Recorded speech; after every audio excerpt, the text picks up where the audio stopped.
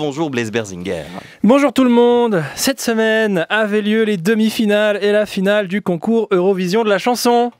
L'Eurovision, c'est comme le foot, sauf que ceux qui chantent sont sur le terrain et ils chantent pas forcément mieux. Vous n'avez pas regardé le concours, pas d'inquiétude, je me le suis farci pour vous. C'est aussi ça le service public, s'infliger des trucs qu'on n'aimerait pas juste parce qu'on a peur qu'après la population vote pour supprimer nos salaires. Jingle Eurovision.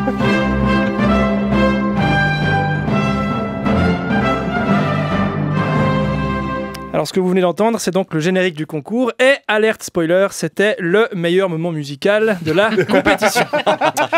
Cette édition a eu lieu à Liverpool, en Grande-Bretagne, mais normalement ça aurait dû être en Ukraine, puisque le pays a gagné l'an dernier.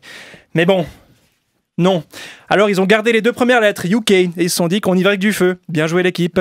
L'Ukraine a gagné l'année dernière, donc mais ils ont triché. Ils sont en guerre, c'était que des votes d'empathie, trop facile. Moi j'ai très envie que la Suisse regagne le concours un jour, donc j'ai envoyé un petit mail d'insulte à Poutine avant de venir. du coup, si tout se passe bien, on se fait envahir, et hop, on gagne en 2024. On peut foutre Henri Dess sur un remix de DJ Bobo avec Bastien Baker et Fanny de Poule qui twerk cul nu avec des armailles de la gruyère. On s'en fout, on gagne quand même, on est en guerre, et c'est sexy, réjouissez-vous.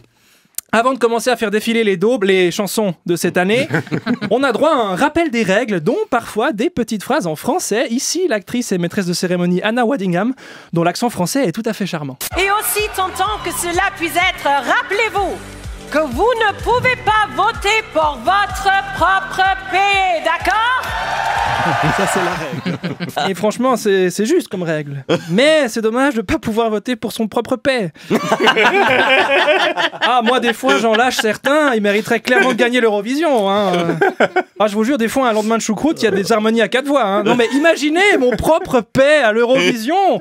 L'engouement d'une nation entière derrière mon paix. Un son qui fait fi du Rusty Graben et auquel même les romanches pourraient s'identifier. Non, vraiment, c'est dommage. Et croyez-moi, certaines chansons du concours ne sonnent pas forcément mieux. Assez tôt dans le programme, on a eu droit à la chanson maltaise.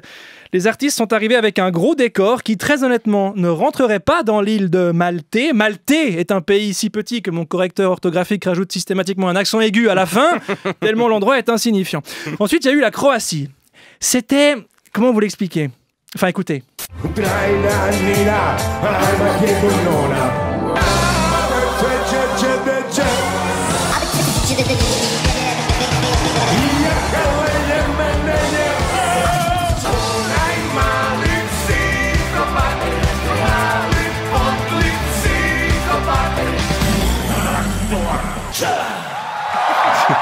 Donc, si vous vous demandiez ce que pourrait donner une parodie de Queen par ChatGPT, ne cherchez plus, c'était là.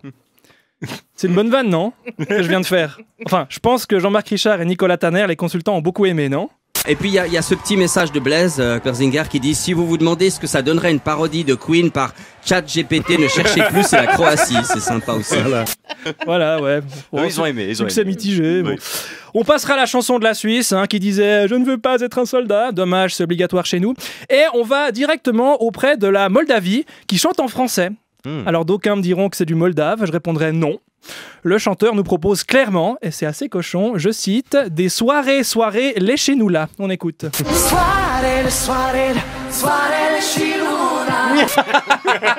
Alors vous me direz, mais léchez-nous là quoi? Oui. Eh bien, la réponse est dans la suite de la chanson. Voilà, la chatte. Mais alors, vous me demanderez, mais la chatte à qui? Eh bien, apparemment, il projette, je cite toujours, hein, Oh. C'est la d'attaquer. fête des mères. hein. Oui, oui. Il projette, je cite, d'attaquer la chatte à Sarah.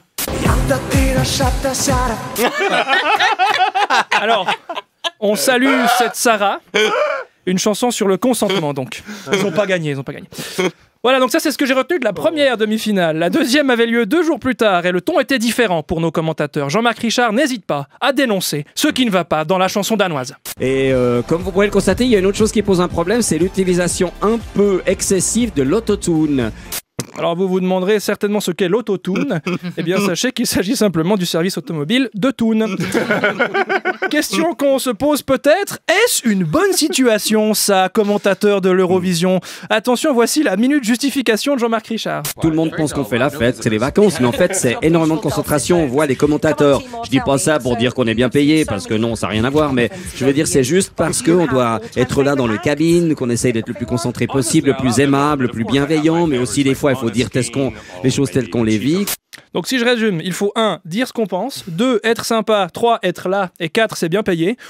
Donc non, c'est pas de la tarte, hein, et c'est aussi ça, le service public, souffrir pour offrir un service de qualité à la population. Le chanteur chypriote s'est coincé une couille dans la braguette. Compatit, mais priorité au direct, il faut pas perdre d'audience. Jean-Marc Richard nous rappelle qu'il est un véritable maître du teasing. Et vous voyez un petit peu ce qui va se passer dans la suite, évidemment, parce que bah, ça va se passer dans la suite. Et puis tout ça, bah, on le racontera tout à l'heure. oui. J'en profite aussi pour vous annoncer qu'à la fin de ma chronique, il y aura une fin. Mais écoutez plutôt à présent le CV de la chanteuse islandaise, c'est fascinant. Une jeune femme qui se présente comme une intellectuelle sportive. En fait, euh, elle fait du crossfit, elle aime les bains froids, je cite, elle aime boire des cappuccinos, elle chante dans une chorale et elle a adopté un perroquet. Et en gros, c'est une connasse. Euh, Je vous propose d'écouter un court extrait de la chanson proposée par Saint-Marin. Voilà, pas pour l'intérêt de la chanson, mais juste pour se rappeler que c'est un pays qui existe. L'Albanie a fait très fort jeudi soir en nous proposant une bande originale qui habillerait parfaitement un documentaire sur les Fennecs.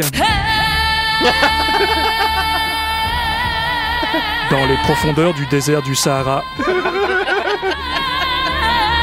vêtu de sa robe couleur sable, Kendro, jeune fennec sauvage de 9 mois, atteint sa maturité sexuelle.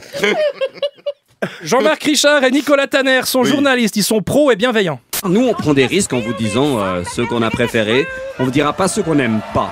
Et effectivement, à aucun moment on connaîtra les chansons qu'ils aiment pas, même quand vient le temps des résultats, quand on annonce que la Pologne se qualifie.